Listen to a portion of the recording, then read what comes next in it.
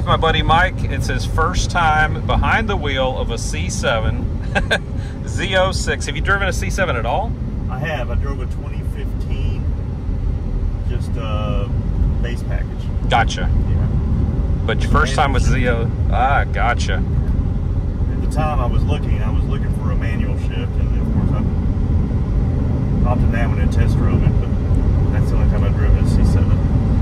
So the first thing that we that we talked about was how the RPMs when the car is cold it starts at 4500 red line and then it starts inching its way up as the car warms up. And he didn't know it did that. Never heard of it. and as far as I know the I've only seen it in C7 and C8s but we're gonna see what his impressions are. Now Mike you've seen on the channel several times. He has a C6 Z06 and I've got to tell you, unless you've driven one or been in one, you have you probably don't have the respect for how quick those cars are, because they are they are fast. They're lightweight. That helps it a lot. Yeah, Yeah. I mean the pound to weight ratio is almost identical to one of these. Yeah. Yeah. And you weighed yours the other day. I didn't remember. Did you get the results of that? well, they actually the scale was broken. oh. I went over there. what I heard from you. Yeah, I weighed it, went inside to pay. They said, "Oh, it didn't pick it up. Go try again." So we tried again, and uh, yeah, You got refunded, right? uh, didn't pay actually. Yeah. Didn't pay. They said, "No, go try it again." So we went and tried it again, Yeah. and they said, "No, it's just not working. Try a different day." So Yeah. we never did get the results of that. So we're still living under the assumption it's about 3,500 pounds. Yeah. compared to your like 3150 i think right something like that. I think it last uh, number I rec- I recall. I have to look it again. 3107. oh dang I think. You know, it's interesting. I was talking to a Cigarette. buddy of mine yesterday, and he's got the Z51 C5. He says his is at just over 30,000.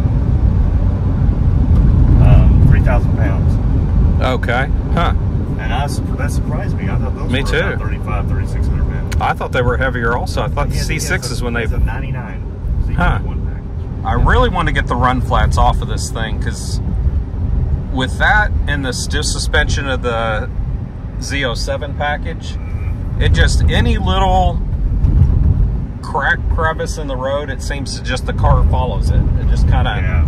like ugh the run flats are a different feel, and mine are older now, and it's like uh, they're horrible. Yeah. I'm ready to get rid of them.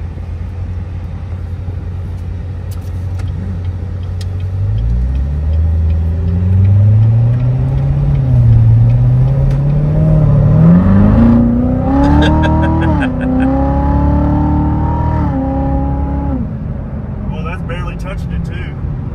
That's this is a rocket. Feels good. It's got a good sound too. you unfortunately can't get it full throttle till you get above 70 or it just your traction control light kicks on Yeah, and you start it starts Yeah. killing your power and the car nanny. yeah exactly now one thing i want to talk about so i'm fresh out of a c6 the grand sport you have been driving your c6 z06 for It's 2018. Since 2018, so five years. Just the differences between a C7 and C6. So if somebody's in the market for C7, C6, I think the first thing, the first question is what's your budget? Right. That's that's first big question because you're going to spend 20, 25,000 more for a C7 if, if you go Z06 route on both. Um, but beyond that, I think the first thing that I notice is the seats are so different. completely different. I'm loving the bolsters um, on these. This this really keeps you sitting still. I mean, this is snug and it's comfortable. For me, I like the C6 seat better overall. These definitely keep you in place way better. But as far as just comfort in the seat of them, this feels more like you're sitting on cardboard. Yeah. Where the C6 is much more plush. The, especially the, the the seat part of it, the, it's it's cushier in the C6. Yes. Yeah. Yeah. Yeah, I know they take a lot of crap for their seats, but I li- it's I don't know. Maybe as you start getting older and the extra cushion is necessary, it actually is a good thing. But so you got to trade off of the seats. Yeah. I think the interior material quality feels a lot better in the C7. The plastics just feel better quality. I agree, and that's been a long time issue with owners. Uh, that with the owners um, complaining about the quality of the interiors over the years. I mean, it's been ongoing, and I think with the C7, they really corrected that. Yeah. Um, you know, they really put forth the effort in the quality of the materials, the design. I mean, I'm impressed. It's I've, I've seen them over the years, and and it's just it looks of good quality. It's definitely a jump up from the I C6. agree. It is. The C6 is nice, Yeah. but when you're buying that caliber of a vehicle, your expectations are much more than what they have put into prior models, C6, Right. C5, so on there. Right, exactly. Now, when I get behind the wheel of one of these, the first things I always, the two things I, well, the one thing I really notice is how high the hood sets. Yeah, It's- I- it's a stock. Yeah, Yeah, Yeah. yeah. It sits really high in the middle, which, and I love the swooping fenders. They've still ke- kept that. yeah, that's the second thing I always notice. It reminds me of the earlier model Corvettes during the 70s, where you have, you know, you got the big fender that comes up, and then you got the center, you know, the hood that pops up, and, you know, Right. that's the things I notice. It really pulls in that sort of classic 70s ish era Corvette, Yes. like the C3s, I guess, right? I agree. Yeah. Yeah, and that was the one thing that I fell in love with with the Corvette growing up, with those C3s with those fenders Yeah. and that back end, and, and I've just always loved that. Yeah.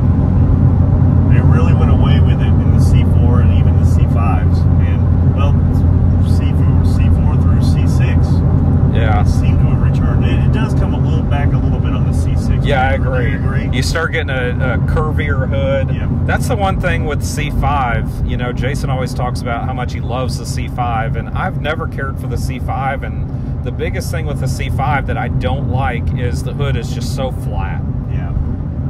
I like, C5 is definitely a different curves. look. And, and, I mean, Yeah. they really did a different design change to get to move away from the C4, and and they just made a lot of changes. Even with the tail lights, you know, they went away with the round tail lights Yeah. briefly between the later model C4s and then throughout the C5. But Yeah. they returned with it. I was so happy to see the round tail lights with the C6. Yeah, but. There was a lot of people that were upset though with, with the C7 coming along the taillights. Everybody Yeah. talked about the taillights. I thought, yeah. I really don't mind them. They I, look did, good. I didn't like it when they first came out. When C7 first came out, I hated them. And it mainly the taillights I didn't like. Yeah. But about a year in, I'm like, I love that car, and it's Yes. became my favorite. Now, with the C6, people also complained a lot because they took away your pop-up headlights, and people said, "Oh, it's not a real Corvette. It doesn't have pop-up headlights." You know, and so it's like, My opinion on Yeah. the pop-up headlights, there's a, there are a lot of models of out there, a lot of models that it just doesn't look right with them. The C3 Corvettes, it looked right because you had the sweeping fenders, Yeah, right? And yeah. you had the downslope on your nose, and Yeah. when they popped up, it was it looked right.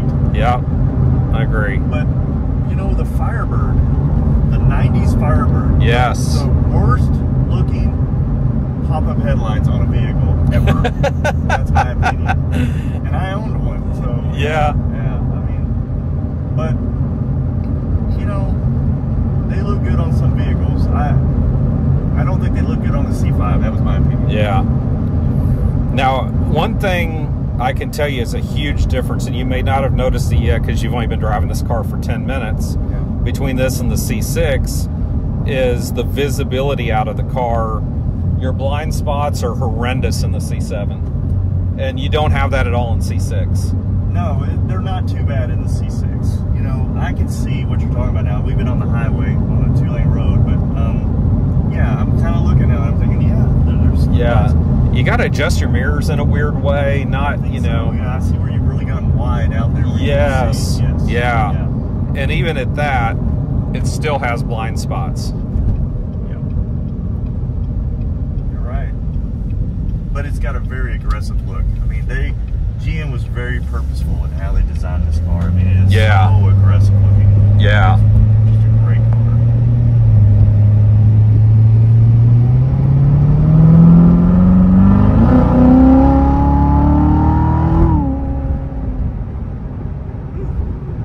Very nice. Love the sound of this car. One thing with the C7, the way it sounds, C6 still had that very American V8 sound to it. Yes. This to me, when they went C7 Z06, they it kind of has a hybrid sort of, not hybrid vehicle, but it's kind of got that classic V8 American V8 sound mixed with a little bit exotic. Yeah. Does that make I can sense? See, I, I, yeah, that makes sense. I see what you're talking about. I hear what you're talking about. Yes. It doesn't have that. It's just not all deep rumble. It's got just something that's a little different. It's, it's kind of got a mix of kind of a Corsa sound to it, but not that overly high pitched Corsa that you'll find in the aftermarket exhaust. right? yeah, yeah, Yeah. I love the sound, and this is stock. yeah. Totally stock. Yeah. It's a great sound. The only thing this car's had done to it was it does have an AFE cold air intake on it. Yeah. and that's it. That. I talked to the owner, the original owner, which it's a one owner car until me. The suspension feels a lot different from the C6. It does. It's got a stiffer ride. And part of that is the Z07 package. Oh, that's right. it it does stiffen it up quite a bit. Um, but having a non Z07, Z06, uh, C7, a lot of numbers in there, but uh, having one of those before, this is just it's a little stiffer and than the the non Z07 package car. But they still feel different from a C6 to me. Now you said you drove my C6 Grand Sport and you said it feels a lot different from what your Z06 feels. It does, and um, you know the shifting pattern, the shifting feel is, is about the same. Is it? Okay. Yeah, but the your suspension felt different, Yeah. um, ever so slightly different. But I mean, but you also said you suspected it was slightly lowered, right? I know it was lowered. Yeah. When we matched it up with yours, it was like an inch lower Yeah. than your car was. So, um, we know Yeah, it was steering, The steering felt slightly different. Of course, you had a different steering wheel, which I love, by the way. I mean, I am, I am going to be hitting you up for where you put- found that on Amazon.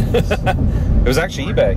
eBay. eBay. Yeah. Oh, it was a great steering wheel. I was impressed. It, it changed the whole feel of the way the car steered, believe it or not. I- And it was so weird because I didn't think a steering wheel would do all that. Yeah. It was, you know, I expected it to feel different in your hand, but it felt different the way the car steered, even. And I don't know how, with just a steering wheel, that would, you know, yeah, happen. and and I, I and I think along with the steering felt a little different. It was um, the power you had already placed. You had already installed the cam in it, and so the power band was different. Yeah. mine too. I mean, it was a different feel, definitely.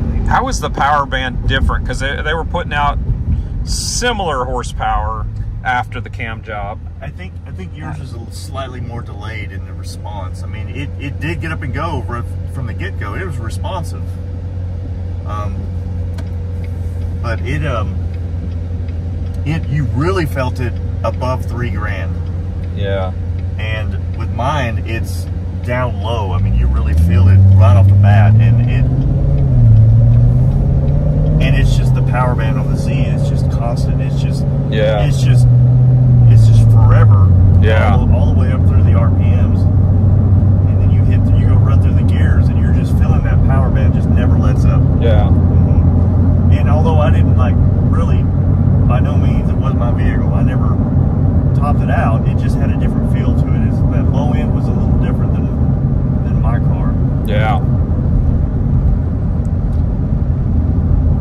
You had to keep the RPMs up to feel the Yeah, I mean, what it was putting out. What a great car, though. I mean, it the, the power on it was impressive. I, you know, I'm not discounting that at all. It it was a, it that was a neat car. It's got a good feel on the road. But you're right, you can feel it with the. It wants to play with the Yeah. the level of the road. It, It, it there's a dip on one side. It wants to come Yeah. come to the right or the left a little bit. But I mean, as long as you understand that, it's it's just that's your sport. That's your tuned suspension. yeah, yeah. And once we get the run flats off here, it'll feel a lot different. I think so. Yeah. because I remember when I got my other Z06, it was the same way, and I got in it, and it feels like the tires are severely overinflated, and it's real edgy, and it's the best way I know how to put it. But, um, but once I changed to the all season, uh, I went all season on that. I'm not going to go all season on this. I'm going to go ahead and go with the Continental.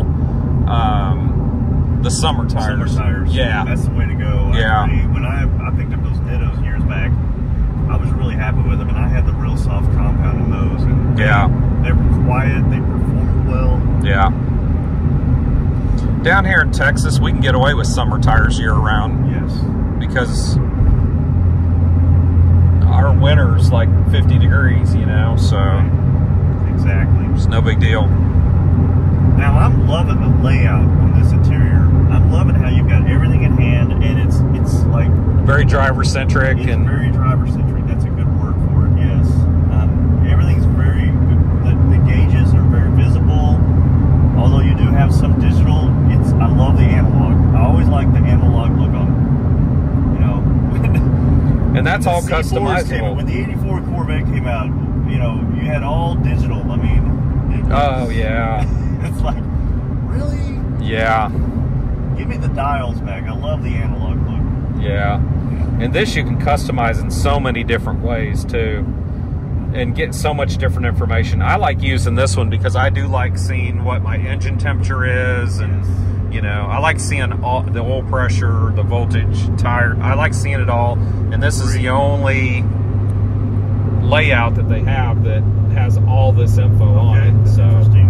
And I didn't know they had all the different choices. That's really cool. That Yeah. you a customization of how you want to lay it out. if you hit that button to go over and then you go up to info and hit OK, you're going to get different information. Yeah, hit OK. Uh, yes, there you go. Okay. So then when you go down and cycle through with your down button, Oh. you have a lot of different things that you don't have with the other one. Oh yes. yes. So I'm constantly going back and forth between the two, but I, I sit on the other one. yeah, your tire pressures as well. Yeah, it'll tell you your tire temperature. Oh, Um, really? Yeah, not the actual like how many degrees it is, but it'll tell you if they're cold, warm, hot. Yeah. We're back. Final thoughts. Uh, powerful. Uh, this car is got a lot of power. It sounds great. The seats really keep you in place. Um, great car. I love the layout on the instrumentation. Um, man, anybody who desires a Z06 C7, it's a great car. It's a great car. GM did the right. Did it? Did it right. Well, I think it's time for me to go drive your Z06 because I've not driven a C6 Z06, so Let's do I'm it. ready. Yeah.